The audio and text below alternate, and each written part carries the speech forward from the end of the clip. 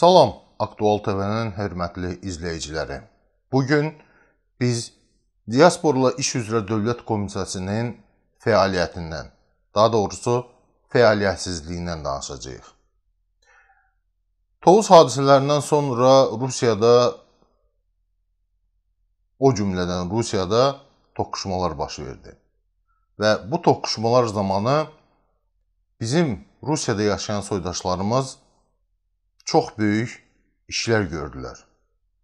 İşlər gördülər, amma onlar başsız oldular. Hər halda belə təəssürat yarandı. Yəni ə, ermənilərin rəhbərləri ortada oldular, gündə bir bəyanat verdilər. Əllərindən gələni etdilər ki, hər şey onların xeyrinə olsun. Amma Azərbaycan diasporunun rəhbəri deyilən bir şəxs və yaxud şəxslər ortada olmadılar. Belə çıxdı ki, bizim Rusiyada diasporumuz sözdə olsa da işdə, əməldə yoxdur. Və təxminən 2 gün əvvəl Ceyhun Əliyev Rusiyada fəaliyyət göstərən Qarabağ klubunun prezidenti belə bir bəyanatla çıxış etdi. Bizə belə diaspor komitəsi lazım deyil. Və bu gün Ceyhun Əliyev Aktual TV-nin qonağıdır. Salam Ceyhun bəy. Və ə, e, mən sizə elə ə, e, danışdığım məsələ ilə bağlı sual vermək istəyirəm. Birinci sualı 2 gün 2 gün əvvəl siz bəyanat səsləndirdiniz ki, Rusiyada yaşayan azərbaycanlılara belə diaspor komitəsi lazım deyil. Bu yalnız sizin fikrinizdir, yoxsa ümumiyyətlə bizim orada yaşayan soydaşlarımızın fikridir və bu fikir bu fikrin əsasında dayanan səbəblər, amillər nədir? Buyurun. Çox sağ olun. Etibar müəllim, mən sizi salamlayıram, sizin izləyiciləri də salamlayıram. Mən istərdim ki, bir az öncəyə nəzər salağın. Yəni ki, bir neçə ay bundan qabaq nə hadisə baş veribdi, onları mən sizin nəzərinizə çatdırım və ondan sonra bu sizin sualınıza konkret olaraq mən cavab verim. Bizim Patriot TV kanalı bildiyiniz kimi artıq bir ilə yaxındır ki, Rusiya mediası kimi fəaliyyət göstərir və bizim qarşımızda biz Rafiq Əliyevlə bunu təsdiqləyəndə bir məqsəd qoymuşduq ki, bu bizim Rusiyada yaşayan azərbaycanlılara və Rusiya-Azərbaycan münasibətlərinə, milli mədəni bizim ənənələrimizin qorunub saxlanılmasına və diasporamıza dəstək kimi bir informasiyon bir kanal kimi fəaliyyət göstərəcəkdir və Biz hər zaman olduğu kimi bu işimizə də sadiqik və bugünkü gündə də bu işi biz davam etdiririk.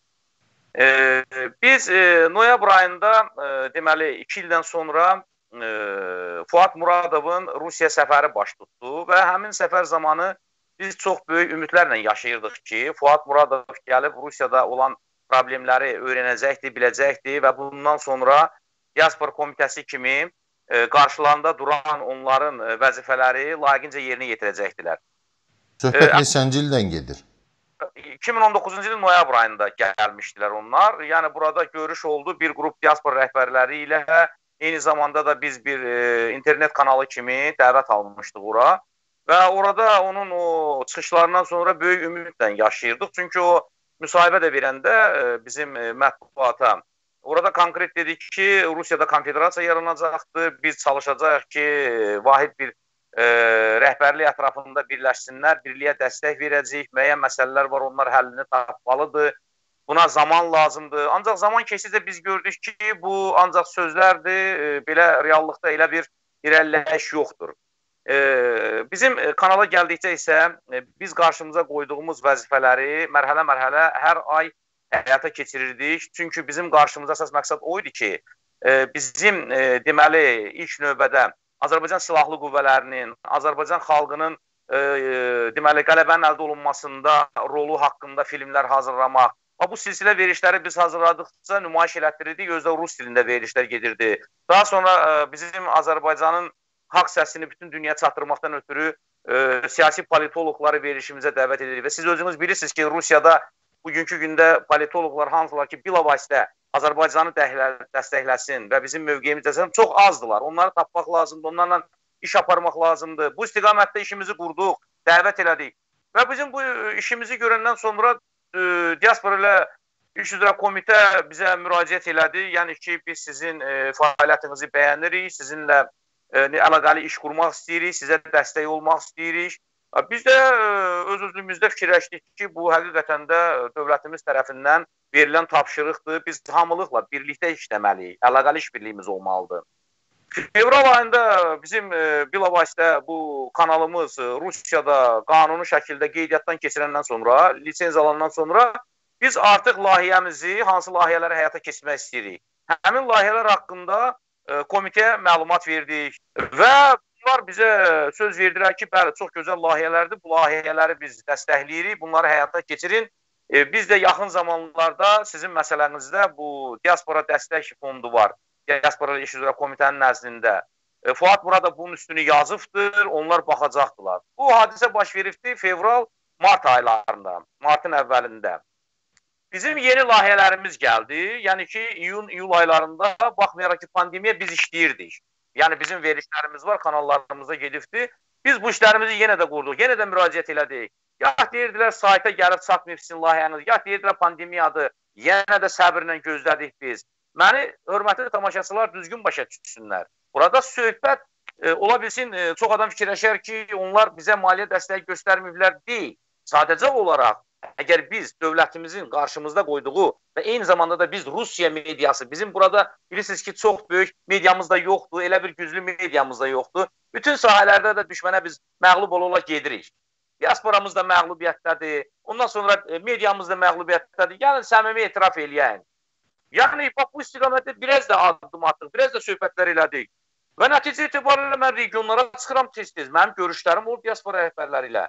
Və belə bir məsələ ortalığa çıxdı ki, mən regionlarda bu yaxınlarda olduğum dövrdə e, Saratovda oldum, e, ondan sonra Saransk, Penza. Mən belə məlumatlar aldım ki, ümumiyyətlə regionların e, çoxunda bizim diaspora iş üzrə komitənin e, tanımırlar. Onların ondan heç bir əlaqələri yoxdur. Və nəticə itibarilə verişlərin birində qeyd elədim ki, bəsdirin artıq tanınmış bir 5-6 bizim imkanlı diaspora rəhbərlərimiz var. Onlarla ünsiyyət qurursunuz, onlardan məlumat alırsınız və prezidentimizə məlumat verirsiniz ki, bəli, diasporamız orada işləyir, fəaliyyət göstərir. Axı Rusiyanın 85 subyekti var. E, sizi inandırım ki, o gün verişimdə demişəm, Yujni Sakhalinskdə bizim təşkilatımız var. Görün hara getdik çıxdıq. Yəni ki, belə məsələlərə diqqət yetirmək lazımdır. Mənim köməyim odur ki, onları tapıram, üzə çıxardıram. Bunlar bunu görməlidirlər. Bəli, tənqid eləmişəm ki, 2 ildə siz e, regionlarda bir çox diaspora rəhbərlərini tanımırsınız. Onlara necə dəstək ola bilərsiniz? Onlara lazımi dəstəyinizi verə bilərsiniz. Saratov şəhərində oldum. Sizi inandırım ki, orada qız qalası var. Saratovun ən gözəl yerindədir, ən hündür yerindədir. Tikiflər hazırlayırlar, gözəl. Ancaq bu gün onu saxlamaq mümkün deyil. Orada müəyyən vəsaitlər çatmır. Orada kitablar lazımdır, onları yeniləmək lazımdır. Orada milli geyimlərimizi yeniləmək lazımdır. Axı həyat davam eləyir. Və bunları mən demişəm ki, bir zəng eləyin, maraqlanın, çatışmayan şeyləri göndərin ki, o muzeydə olsun. Ora qonaqlar gəlirlər. Orada e, ermənilərin də evi var. 15 xalqın evi var orada. Ən gözəl yerdə bizimkidir. Sizi inandırım. Bizim e, Azərbaycanın e, Rusiyada fövqəladə səlahiyyət səfiri Polat Bülbüloğlu orada olubdu 2016-cı ildə. Yəni nə demək istəyirəm? Bax bu tənqidi çıxışlar eləmişəm. Ondan sonra 2 gün üstündən keçmədi, mənə cavab göndərdilər ki, sizin müraciətiniz e, imtina olundu. E, sizinlə gələcəkdə bir çalışmağı, əməkdaşlıq etməyə hazırıq. Yəni gələcəkdə bizlərə müraciət eləyin. Bunu mən necə başa düşüm? Mən peşəkar hərbçiyəm, nizam intizamı sevən adamam. Jurnalistikada da nizam intizam olmalıdır. Yəni ki, jurnalist e, indi özünüz Allah ki peşəkar jurnalistsiniz, bilirsiniz. Bizim dediyimiz söz e, həqiqəti əks etdirməlidir. Biz heç kimə yalan danışmamalıyıq. Problemlərimizi qabardıb ortalığa qoymalıyıq. Son hadisələrə qayıdalım. Etibar müəllim. Deməli son hadisələrlə bağlı konkret ə, e, qeyd etdiyimiz kimi Tovuz hadisələri zamanı və bu hadisələrdən sonra o cümlədən Rusiyada baş vermiş toqquşmalarla bağlıdır. Ə, e, mən diqqət yetirdim həmin hadisələr zamanı ə, e, ermənilərin rəhbəri Ara Abramyan gah o telekanalda, gah burada bəyanat verirdi, gah orada görüşlər keçirirdi. Amma bizim Rusiyada o qədər diasporlu təşkilatlarımız var. Nə bilim, FNK var, Azərros var, Mehriban Sadıqova var, sinəsinə döyən, Axıddaş Kərimov var və s. Bunlar görünmədi. Bunlar nə bəyanatda göründülər, nə konkret işlərdə göründülər. Niyə görünmədilər? Ə, çox ə, düzgün sual qoyursunuz. Ə, mən ə, qeyd etmək istəyirəm ki, ümumiyyətlə ə, artıq 2 ilə yaxındır mən diaspora ilə sıx ə, əlaqəli işlərlə məşğulam. Yəni burada gedən proseslərdə məlumatlıyam. Bizim ə, ümumiyyətlə belə ümumi götürəndə federal səviyyədə ə, bizi təmsil edən Azərros e, bir o qədər də ə, e, fəaliyyəti güclü deyildir və orada obyektiv, subyektiv səbəblər də vardı. Gərək onu da qeyd eləyəm. E, onlardan biri ondan ibarətdir ki, mən mən ümumiyyətlə çıxışlarımda həmişə qeyd eləmişəm, mən Azərbaycan diasporasını Rusiyada 4 hissəyə bölürəm. Yəni ki, birinci hissə ə, çox ə, yüksək səviyyədə olan, belə ki, ə, öz iş biznesləri, Artıq Rusiyada tanınmış iş adamları kimi olan bizim diaspora rəhbərləri var.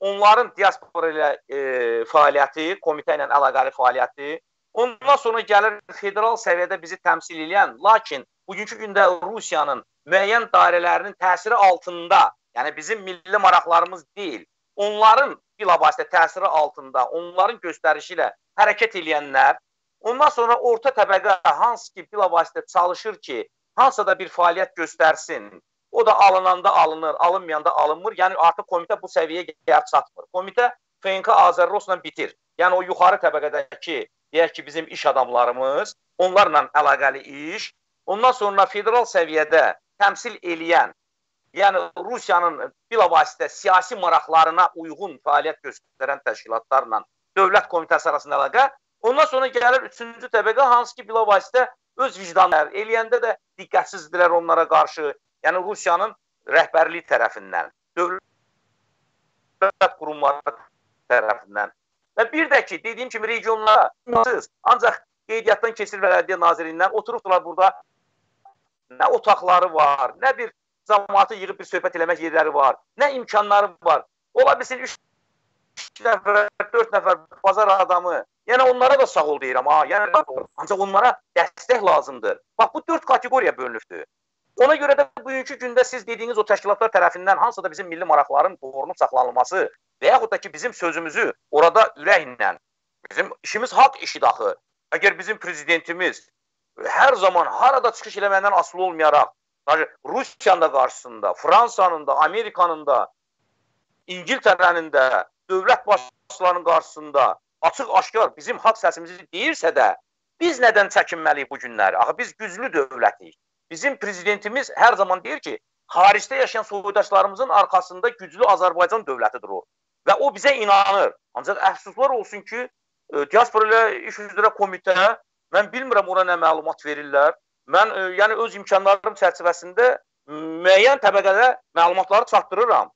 Yəni ola bilsin onlar eləsə bilirlər ki, mən elə sıravi bir e, üzr istəyirəm, vətəndaş kimi özüm deyib özüm eşidirəm və e, bir neçə işçiləri də var həmin komitənin. Eləsə bilirlər ki, əgər Ceyhun Əliyevin kanalına 100 nəfər, 200 nəfər, 500 nəfər baxırsa da ondan artıq baxmır ki.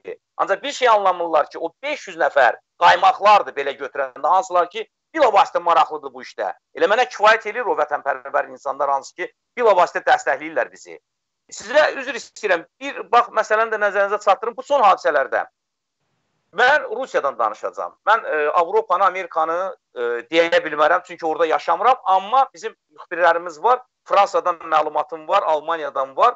Yəni sizi inandırım ki, orada da insanlar e, diasporanın necə deyirlər, e, güclü olmasından irəli gəlib getməmişdilər qabağa. Bizim prezidentin çağırışına daxillərindən gəlmiş o hisslərlə qalxmışdılar. Nant şəhərinin deməli Fransanın 95% Azərbaycanlılar orada yaşayır. Orada hamı bir-birindən söz veribdi, gəlib o mitinqi keçmişdilər, orada qarşı durma yaranmışdı. Eləcə də başqa bölgələrdə. Amma e, efir vasitəsilə baxıram, görürəm ki, e, diaspora ilə iş üzrə dövlət komitəsinin sektor müdürü e, var, Cahid İsmailoğlu. ATV kanalında çox məmnuniyyətlə deyir, bütün cəbhələrdə qələbə qazanmışıq. xüsusən də diaspora cəbhəsində mən üzr istəyirəm. Hansı qələbədən söhbət gedir? Rusiyadan danışıramsa da mən burada qələbə görmədim. Bu gün də 11 nəfərimiz içəridə oturur. Onların müqəddəratı məlum deyil. Onlar bizim gənclərimizdir. Onlar o Brüsseldə bizim o gənclərimizə qarşı olan hərəkətin cavabı olaraq bunları burada idarə olunmalıydı. Diasporamız bunları necə deyirlər, formalaşdırmalıydı. Bunların arxasında durmalıydı.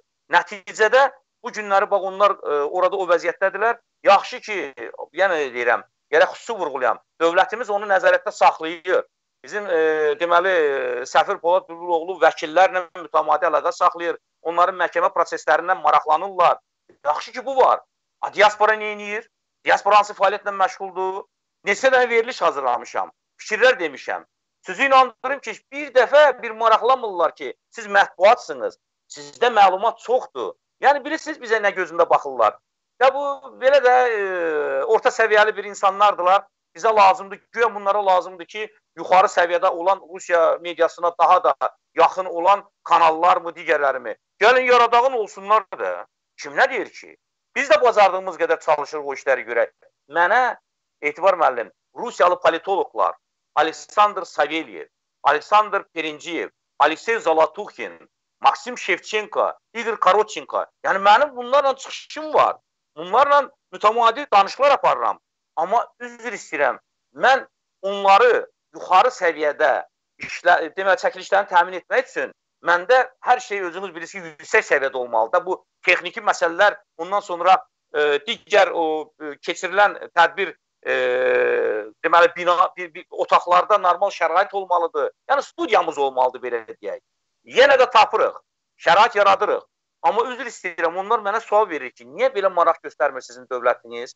Niyə bu medianın güclənməsinə fikir vermir? Axı bu günləri deyir ermənilər e, meydanda bilirsiniz, bütün kanallar onlara çalışır. İnternet kanalları özlərinin onlara dəstək verən Rusiya internet kanalları, saytlar onun kimi. İndi özünüz Allah'a şükür izləyirsiniz, görürsünüz. Yəni ki, bax biz aciz deyilik. Sadəcə olaraq bizə, bizə bir balaca mənəvi və yeri gələndə maddi dəstək də vermək lazımdır. Və o fondda yaradılan o fondun ə, e, pulları nədən ötürüdür? Diasporamızın inkişafına, burada məsəl üçün vəsaitlər yoxdur diasporamızda, onlara dəstək, ola bilsin nəsə çətinlikləri var, layihələri var. Bir layihəni nəzərinizə çatdırım. Bir il bundan öncə və ondan da əvvəl. Deməli, e, regional Moskva vilayəti üzrə Azərbaycanın Milli Mədəni Muxtariyyəti var. Onlar layihə hazırlayıblar ki, qələbənin 75 ilə əlaqədar Paklonski qara deyilən bir yer var. Burada bizim neft buruğumuzu e, qoysunlar, e, vışqasını. Yəni ki, bunlar hamısı hesablanılıbdır, layihələr hazırlanıb göndərilibdir. Nəticədə nə oldu? Nəticədə heç bir cavab yoxdur. Hələm də baxılmaqdadır. İl yarım proyektə layihəyə baxırlar. Üzr istəyirəm. Komitə baxmalı idi bu işə. Bəli, bəli, bəli. O layihədən onların məlumatı var. Onlara göndərilibdi. E, onlar baxırlar o məsələlərə və dövlətimiz yenə təsəvvür edirsiniz mi? Paklonlu qarada əgər o bizim e, burğumuz olsaydı, onu biz orada e, necə deyirlər, yerbəyer eləyib və qonaqlar dəvət eləsəydik, bu bir daha bütün dünyaya göstərirdi ki, Azərbaycan xalqının və Azərbaycanın nefti hesabına 80% neftlə təmin eləmişik. Bu qələbə əldə olunubdur və bu bir bilavasitə bu bizim əksimizə danışan ermənilərə göz dağı olardı o. Buna dəstək yoxdur. Ondan sonra maraqlanmışam, belə araşdırmışam. Sankt-Peterburq şəhərində bir neçə diaspora təşkilatları var. Neçə layihə göndəriblər. E, yəni mən tək deyiləm. Bu layihələr əgər dəstəklənməyəcəksə də, bu layihələri siz E, e, dəstək verməyəcəksinizsə də insanlara niyə zulm verirsiniz? Niyə imitasiya eləyirsiniz ki, siz hansısa da bir işlə məşğulsunuz? Və bu qədər dövlət fonda dövlət dəstək verir ora. Mən dəqiq bilirəm ki, dövlət başçımız xaricdə yaşayan Azərbaycanlılara çox diqqətlidir. Çünki e, bu çox vacib e, sahədir. Burada biz yenə nə deyirəm, tək birlikdən söhbət getmir. Birliyimizdən söhbət gedə bilməz bu günləri. Amma biz qərib ölkələr ölkədəyik. Biz burada nümayiş etdirməliyik və göstərməliyik. Biz nəyə qadirik? Amma biz əksinə öz zəifliyimizi, cılızlığımızı nümayiş elətdiririk və bu formatda da bizim necə deyirlər narazılıqlarımıza bizim əleyhimizə olan qərarlar qəbul edirlər. Bax bu qədər bunu deyim. Mən indi sizdən konkret soruşum. Bu iyul hadisələri zamanı siz Diaspor Komitəsinin fəaliyyətini Rusiyada hiss etdinizmi? Konkret cavab verirəm. Əgər mən media işçisiyəmsə də və eyni zamanda da mən tam məsuliyyətimlə bu haqda məlumat verə bilərəm ki, bir dənə heç nə onların müraciəti və yaxud da ki, onların hansısa da bir səsini biz burada eşitmədik. Burada yeganə olaraq səfirliyimiz, vəkillər, heç bir diaspora təşkilatı bilavasitə bu işdə fəallıq göstərmədi və bir qrup ziyalılarımız da bu işə necə deyirlər, ehtiyatla yanaşaraq öz dəstəklərini verdilər. Mən sizə açığı deyirəm, burada həddindən artıq qorxu hissi var bir çoxlarında. Yəni ki, bizi federal ə, e, təhlükəsizlik xidmətinə çağıracaqdılar, bizi hüquq mühafizə orqanları belə edəcəkdilər. Axı biz burada rəsmi qeydiyyatdan keçmişik ona görə ki, biz belə problemlər əgər ortalığa çıxırsa da bizim mənfur qonşularımız tərəfindən, onun həm siyasi yolunu, həm də ki, ictimai təşkilatlarla birlikdə qarşısını almaq üçün öz işimizi nümayiş elətdirək. Bu diaspora ilə iş üzrə komitə əgər buradakı bu məsuliyyətli şəxslərlə hər hansı bir iş aparmayıbsa da, hər hansı bir necə deyirlər fəaliyyət göstərmirsə də, bu nədən söhbət gedə bilər? Bizim gənclərimiz içindən gələni elədilər. Mən sizə deyirəm, burada gənclərimizə irad tuta bilmərik. Əksinə hələ bir çoxları üzr istəyirəm. Bu cür oğlanların əməllərini xuliqanlıq əlamatı verdilər. Bu cür oğlanların apardığı işlərə necə deyirlər, qara yaxdılar. Onlar orada nə işi var idi? Moskva razborka yeridimi? Bu gün bizim o sərdə oturan oğlanlar və hansılar ki, artıq bizim bir qrup e, vəkillərimiz tərəfindən azadlıqlar onların o addımı olmasaydı, bu gün üzr istəyirəm, bizim bu Moskvada, Rusiyada, digər regionlarda xalqımızın belinə minərdilər onlar. Onlar onların necə deyirlər, e, açıq deyək də qarşısını aldılar və yerlərini oturdurdular. Mən tərəfdarı deyiləm ki, hansısa da bir formada qarşı durumu olsun, qan tökülsün, xeyr. Ancaq elə məqamlar yaranır ki, orada ya onları idarə eləmək lazımdır, siyasi yolla bu vəziyyətdən çıxmaq lazımdır və yaxud da yeri gələndə güc işlətmək lazımdır. Bax bu gün onlar ə, e, xalqımızın ə, e, o içindən gələn ə, e, bütün sevgini, məhəbbəti, vətənpərvərliyini bu cürə ortalığa qoydular.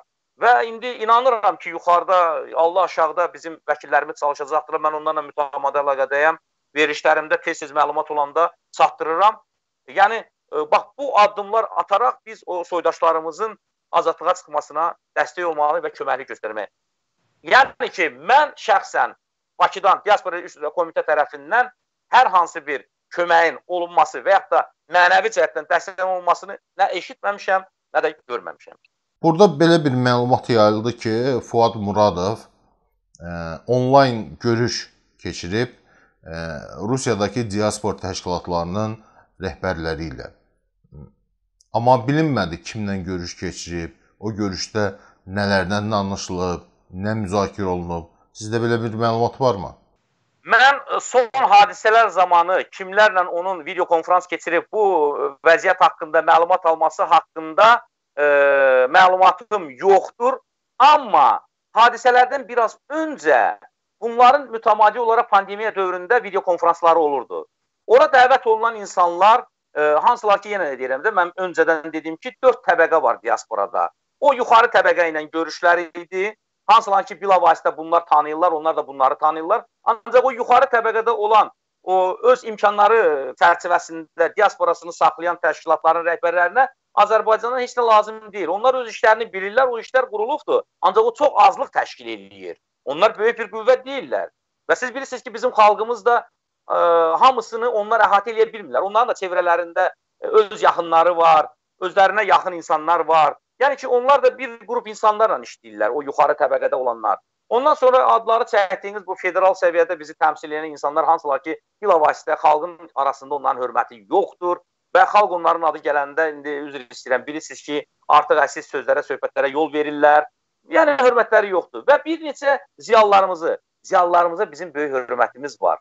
Amma üzr istəyirəm, bugünkü baş verən hadisələrdə bizim ziyalılarımız o efir vasitəsilə dedik, dedikləri orta təbəqədə olan bizim soydaşlarımıza çatmır. Satanda da deyir, hardaydınız, yatmışdınız, indi ortalığa çıxıbsınız. Yəni ki, bilirsiniz, e, bu iş elədir ki, bu iş gündəlik iş olmalıdır. Bu iş e, elə bir səviyyədə qurulmalıdır ki, o dediyim təbəqələr insanların içində olmalıdır. İnsanlarla ünsiyyətdə olmalıdır. Onların nə ilə nəfəs aldığını bilməlidirlər. Biz şəxsən o insanların içindəyik. Biz şəxsən nəyə görə bax belə danışıram? Çünki mən onların hansı səviyyədə nə ilə nəfəs aldıqlarını bilirəm və bildiyim üçün də məlumatı çatdırıram. Bu mənim borcumdur. Ancaq üzr istəyirəm, bunlar o mənim məlumatımı kölgəyə salırlar. Ancaq və ancaq bir-birlərinə tərif verən, bir-birləri haqqında xoş söz deyənlərlə video konfranslar keçirirlər. Üzr istəyirəm, bəy tərifi kimi. O deyir, burada hər şey yaxşıdır, nəzarətimizdədir.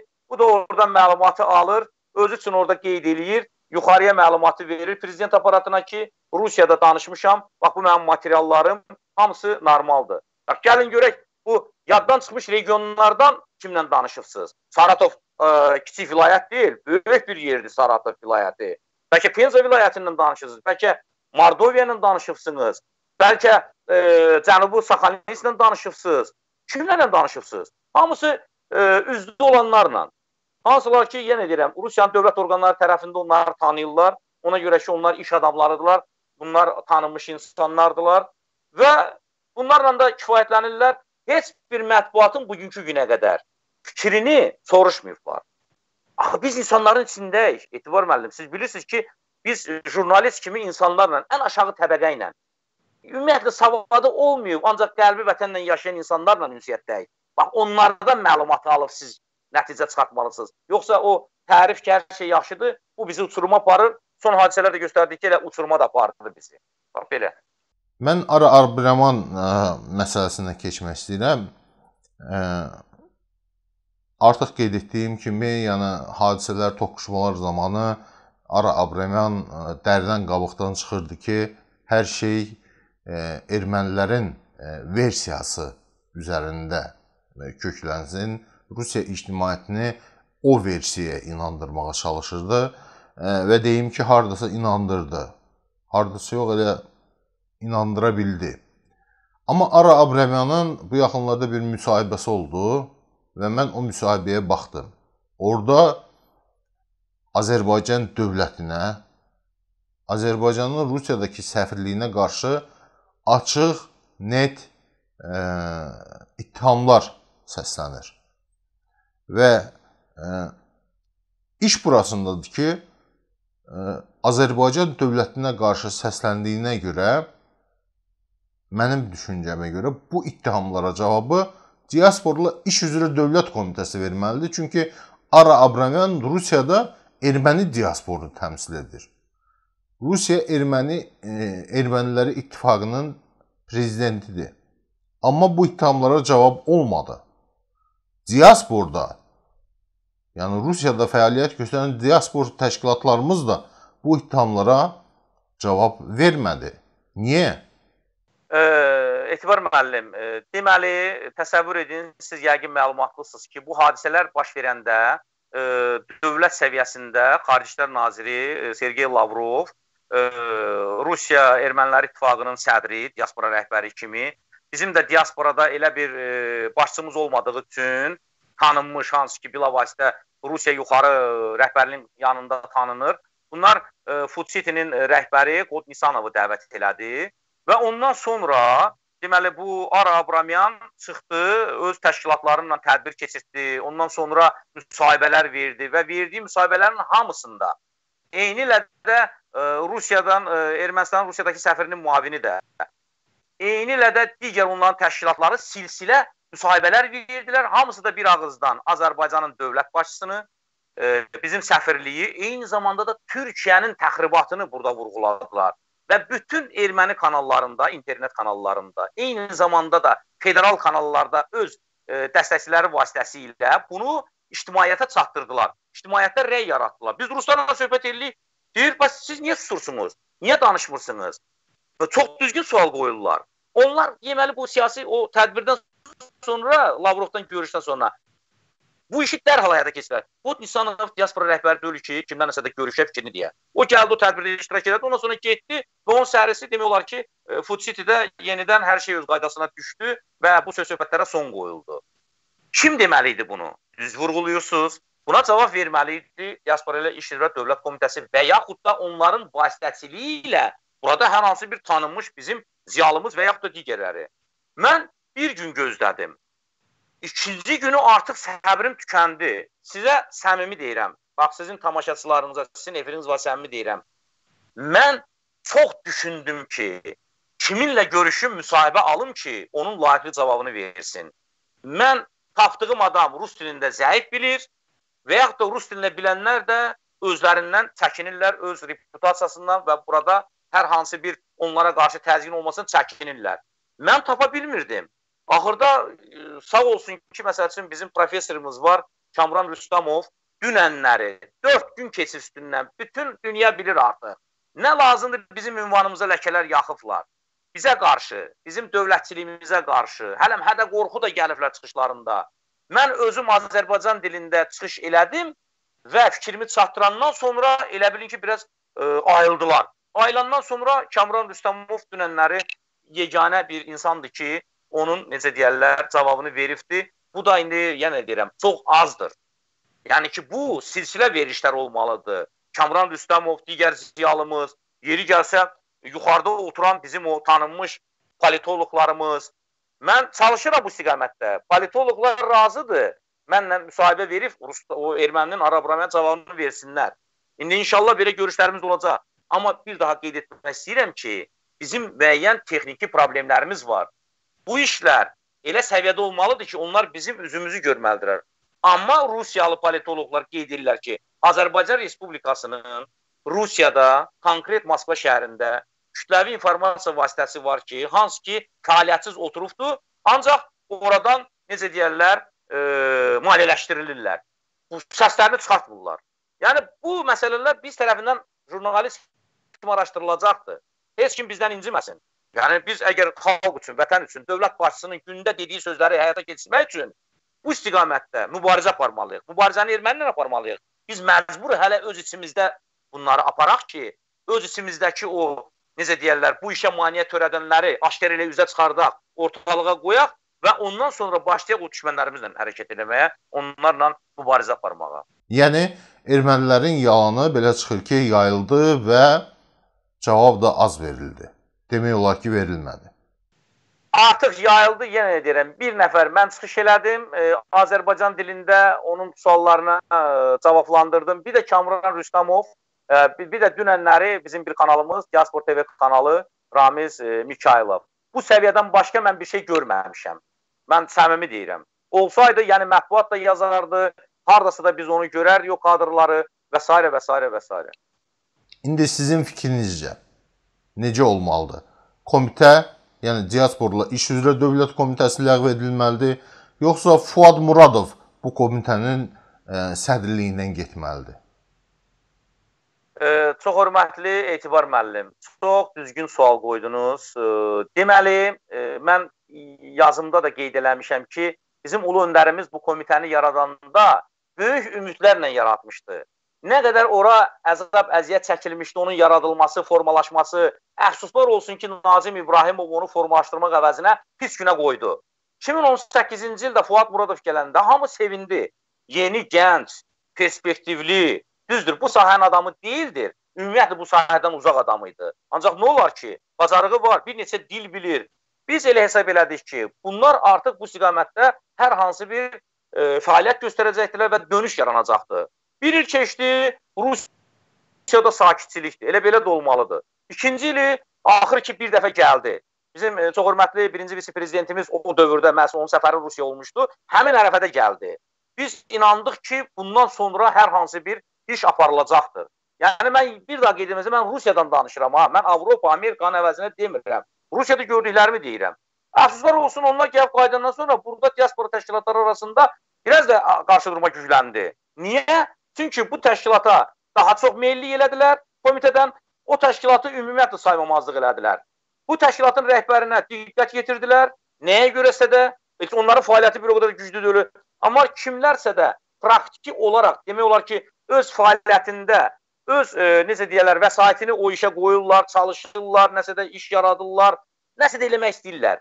Düz də eləsələr, səhv də eləsələr ancaq xalq üçün eləyirlər. Da bu az da olsa, çox da olsa eləyirlər. Bunların ümumiyyətlə adları yoxdur. Əksinə, bunlarla kim əməkdaşlıq eləyir, onlar haqqında pərdə arxası söhbətlərə, dedikodulara səbəb olur. Və yaxud da ki, bu bunun adamıdır, onun adamıdır. Yəni bu yolla biz heç əldə eləyə bilmərik. Hamısı bizim xalqımızdır. Bugünkü gündə Kim ki, xalqımız, vətənimiz üçün fəaliyyət göstərir, qeydiyyatdan keçən təşkilat, keçməyən təşkilat, bunların hamısının birliyi olmalıdır. Konfederasiyası yaranmalıdır. Bir vahid rəhbərlik altında birləşməlidir ki, heç olmasa biz də tapanda bu mən soruşuram, deyirəm kimə zəng eləyirsiniz regionda? Deyir kimə zəng eləyək? kimdən kömək istəyir? Ukrayna bunları tanımırlar. Nə də ki Moskvada elə bir mərkəz yoxdur ki, kiməsə də deyirlər ki, bağışlayın və biz e, bu çətinlikləri çəkirik və bizə bu köməyi göstərin. Sizi inandırıram etibar mən Rusiyada hər yerdə olduğu kimi o qədər qəlbi vətəndən yaşayan, qəlbi döyünən insanlar var. Eləmək istəyirlər. İmkansızlıqdan bir, dəstəyin mənəvi dəstəyin olması iki, üçüncüsü yerli orqanlar bunlara qarşı bunların səviyyəsini görürlər. Səviyyə nə barədə deyirəm də, bunların heç oturacaq yerləri yoxdur və yaxud da digər məsələlər, problemləri var. Onları görürlər. Bunları elə onlar da qeydiyyat üçün saxlayırlar ki, e, Moskvaya məlumat versinlər ki, belə bir təşkilat var. Yəni biz e, milli a, deməli təşkilatlarla işimizi aparırıq. E, bu millətlərlə işimizi qururuq. Bax bunlar da yerlərdə bu hesabat üçün yaşayırlar. Ona görə yox ki, inkişaf eləsin Azərbaycanın və yaxud da digər respublikaların milli e, təşkilatları. Bax qeyd etmək istəyirəm ki, ümumiyyətlə boşluq çoxdur, xüsusən də Rusiyada. Baxmayaraq ki, Rusiya ərazisinə görə də, əhalisinin sayına görə də, bizim soydaşlarımızın sayına görə də Avropa, Amerikanı ümumi götürəndə ondan çoxdur. Strateji bizim e, qonşumuzdur. Bizim bütün bəlalarımız bilirsiniz ki, başlanğıcı buradan başlayıb tutarsa da burada tutaracaq da. Bunu bilirik. Bura diqqəti artırmaqdan ümumiyyətlə burada getdikcə dağılmağa doğru gedir. Bunu nətər ilə biz çatdıraq prezidentimizə, ali baş komandanımıza? Mən çalışıram bu istiqamətdə və sizi inandırım ki, hansısa da vasitə ilə olsun çatdıracam da. Yəni mənim bu hərbi xarakterim, ümumiyyətlə sona qədər getməyim və axırda e, mənə qarşı inandırım da sizə bu son zamanlar bəcür başlayıblar. Özünüz bilmirsiniz ki, kim bir balaca başlayır həqiqəti deməyə, e, hazırlayırlar orada materiallarını, yanlış məlumatlar vermək, dezinformasiyalar vermək. Belə şeylər bizi qorxutmur. Bizə xalqın etibarı var, etimadı var. Bu kifayət elər. Bir də ki, ən əsas odur ki, mən qulaq asıram burada efir vasitəsilə. Azərbaycan Respublikasının prezidenti, Azərbaycan birinci vitse-prezidenti hər çıxışında dedikləri bizim üçün bir konspektdir. Bizim üçün bir dənə necə deyirlər, qarşımıza qoyduğumuz məqsəddir. O yolla gedirik, sona qədər də gedəcəyik. Beləliklə e, yekun sual. Deməli, e, Nazim İbrahimov Rusiyada diaspor yaratmaq üçün heç bir iş görmədi və getdi gəldi Fuad Muradov və vəziyyət e, heç olduğu kimi də qalmadı. Olduğundan lap da pisləşdi. Və belə çıxır ki, biz indi Rusiyada diasporsuzıq. Deyilmi? Heç bir iş görülməyibdi və eyni zamanda da bu son hadisələrdə də diasporamızın rolu haqqında heç nə demək olmaz. Çünki tək bu son hadisələr yox, elə Dağıstanda baş verən hadisələri götürəyin o sərhəddə nə qədər narazılıqlar yaranmışdı. Sizi inandırım ki, o vətənpərvər oğullar məcburən diaspora üzvləri olduğu üçün, fəallar olduğu üçün deyirdilər. Adı diaspor gedəndə elə bilməyin ki, bu komitənin buradakı xidmətləridir. Mən Rakib Əzizova, Telman Tarilidir, Qəni müəllimdir. Yəni bunlar həqiqi də çalışdılar. Bilavasitə bunlar komitə ilə əlaqə saxlasalar da, bilavasitə mərkəzdən bunlar idarə olunurdular, bunlara dəstək olunurdu. Xalqımız nə qədər çalışdı, onlara pul kömək elədi, ərzaq elədilər. Yəni bilirsiniz, bundan məlumatınız var. Bu işlərdə də bunlar öz işlərini göstərə bilmədilər. Düz deyir, deyirlər ki, biz nəsə eləmişik. Eləsəniz bu xalqın içində, xalqın gözü tərəzidir. Bu deyirlər. İndi siz bayaq sual qoymuşdunuz, mən o suala artıq nöqtəsini yanında qoymaq istəyirəm. Bugünkü gündə diaspora ilə iş üzrə Dövlət Komitəsinin biz Rusiyada rolunu görmürük və burada olan biz, yəni ki, ziyalılardan bir qrupu, e, mediamız, ondan sonra diaspora rəhbərləri belə qərara gəlmişik ki, o diaspora ilə iş üzrə dövlət komitəsi daxildə olan digər xalqların diasporaları yoxdur. Rus icmasıdır, Yevrey icmasıdır. Elə onlarla fəaliyyətini göstərsin ki, onların burada e, nizamnamələrinə görə görəcəkləri işləri biz görmürük. Yoxdur o. Ona görə yoxdur ki, mən sizə bir daha deyirəm. Fuad Muradov diaspora sahəsinin adamı deyil. Bunun təyinatı ora mən müdaxilə eləmirəm, amma mən düzgün başa düşün. Prezidentimiz gözəl bilir kimi təyin eləyir. Ancaq 2 il keçdiyinə biz nəzər yetirsək, fəaliyyət yoxdursa da, deməli bunu artıq e, nəzərə almaq lazımdır və problem yoxdur. Biliyinə, bacarığına görə başqa sahəyə getməlidir bu insan. Çünki bu sahədə onunki alınmır. Azərbaycan evimiz yoxdur, Etibar müəllim. Rusiya kimi böyük dövlətdə Azərbaycan evi yoxdur. Bizim nəyimiz çatmır. Milyarderlərimiz var Forbes-də, bəlkə 6-7 nəfər. Bizim nəyimiz çatmır? Bizim zəif dövlətimiz var. İqtisadi cəhətdən demək olar ki, Zakavkaziyada birinci e, MDB dövlətlərində dördüncü yer tuturuq. Nəyimiz yoxdur? Bir dənə Azərbaycan ev tikənmir ki, bu millət sözü olanda söhbət olanda ora yığılsın. Çayxana, kafe, restoran. Nə vaxta qədər biz bu çayxanalarda, kafelərdə, restoranlarda oturub hər hansı bir tədbiri keçirəcəyik, bir-birimizlə fikir mübadiləsi aparacağıq. Biz utanmırıq və ermənilərinkinə gəlin baxın da. Və bundan utanağında heç olmasa. Yevreylərinkinə baxaq ne? Siz inandırım ki, burada çoxluq təşkil eləmir. Penza şəhərində getmişəm. 500 yevrey var. Penza vilayəti üzrə 500. Onların evi var. Bizim Penzada işləyimiz yoxdur. Sizi inandırım ki, yoxdur. Olubdur. 10 il bundan qabaq yerli e, orqanlar bizimkilərin əlindən alıbdılar onu. Alıbdılar və deməli indi ticarət mərkəzi kimi işlədirlər. Budur, bax yoldaş cənab e, Fuad Muradov. Bax belə şeyləri deyirəm ki, biləsiniz ki, regionlarda vəziyyət nə yerdədir? Mən sizə görə bunu deyirəm də, sizə kömək elə. Belə götürəndə müəllim, bunların hər dəfə gəlib getməyi alınmır da. Tapıram, ortalığa çıxardıram, deyirəm. Bunu niyə öz üzərinizə mənfi kimi götürürsünüz mənim fikirlərimi? Tənqid kimi. Bəli, tənqiddən nəticə çıxartmaq lazımdır. Mən e, tərif sevən, e, tərif sizə o qədər adamlar verir ki, yalandan. Hansılar ki, siz onları tərifləyirsiniz bir təşkilat rəhbəri kimi. E, onlar da sizi tərifləyirlər. Mən üzr istəyirəm etibarən bunu xüsusi vurğulamalıyam. 32 il diasporamızda xidməti olan, dünyasını dəyişmiş Nizami Bəşirov adlı bir bizim vəkilimiz olub. Neçə prosesləri o pulsuz Azərbaycanlılara təmənnasız həll eləyibdi. Keçən illəri dünyasını dəyişdi. Allah ona qəni-qəni rəhmət eləsin. Neçə təşkilatlar yaradıbdı, qeydiyyatdan keçiribdi, vəkil kimi hər şeyi bilirdi. O rəhmətə gedəndə mən şəxsən efir vasitəsilə müraciət elədim. Çünki prezidentimiz təsis elədi də, e, deməli, diasporada fərqlənmə medalı. Dedim ki, ölümündən sonra heç olmasa bunu biz e, ideoloji iş kimi də insanlarda biraz da mənəvi ruh yaratmaq üçün, yəni həqiqətən də xidməti olan insanlara bu təltif olunur. Xeyr, nə danışırsınız? bugünkü günə qədər üstündə artıq bir ilinə az qalıbdır. E, gələn e, yanvar, fevral aylarında rəhmətliyin ili olacaqdır. Hələ də məsələyə bax, deyir, təqdimat göndərin. Təqdimat mən dedim, siz təqdimatla işləyirsiniz. İstədiyiniz adama, istədiyiniz vaxtda özünüzün təqdimatını yazıb, özünüz də təqdim edirsiniz. İndi ilin sonu gəlsin, kimlərin ki bu hadisələrdə rolu olubdu, fəal olubdu, onlar qalacaq qıraqda. Kimlər ki bunlarla bəy tərifi eləyibdi, o medallardan bir neçəsini bunları təltif eləyəcəklər. Bax, buna siz diqqət yetirin. Bəlkə mənim çıxışımdan sonra ehtiyat eləyərlər, amma planda bunlar var idi. Mən sizə səmimi deyirəm. İlin sonunda o tərif verən bəylərə o medallar verilməli idi. Ancaq kim ki zəhmət çəkibdi, kim ki xidmət edibdi, onlarla bunların Çox sağ olun Ceyhun bəy.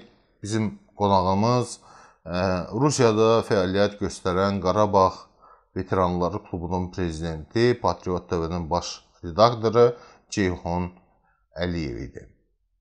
Bütün deyilənləri yoxlamaq çox asandır. İyul hadisələrindən sonra Rusiyada baş vermiş toqquşmalar çox yaxın keçmişdi. Diasporla iş üzrə Dövlət Komitəsinin bu hadisələrdə fəaliyyəti necə oldu? Bu təftiş edilməlidir. Və elə Rusiyanın özü də elə çox uzaqda deyil. Oradakı diasporamızın hansı vəziyyətdə olduğunu yoxlamaq bu da çətin deyil. Əsas məsələ odur ki, iyul hadisələri zamanı biz Rusiyada diasporunun, yəni bizim diasporun olmamasını hiss etdik və bu səbəbdən xeyli əziyyət çəkdik bu problemləri biz bu gün də yaşamaqdayıq. Bizə Rusiyada vahid, güclü, mütəşəkkil, problemlərə operativ və düzgün cavab verə biləcək diaspora lazımdır.